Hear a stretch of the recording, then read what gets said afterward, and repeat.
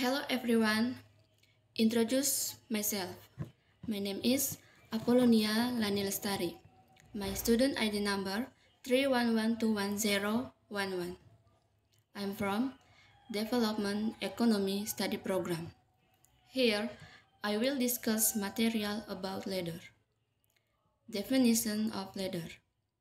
Ladder have a meaning as the delivery of information that has elements as the sender of the recipient of the letter. Purpose of writing a letter.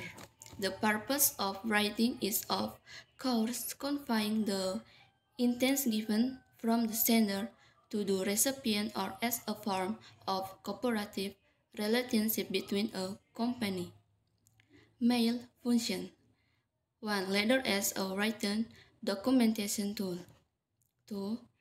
Letter as institutional ambassador and writing ambassador.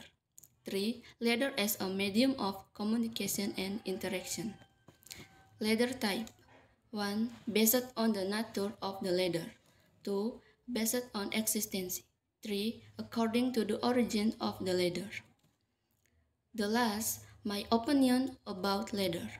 Letter is a means of communication that is still done today and apart from being a means of letters communication as well writing evidence at the agency. Thank you.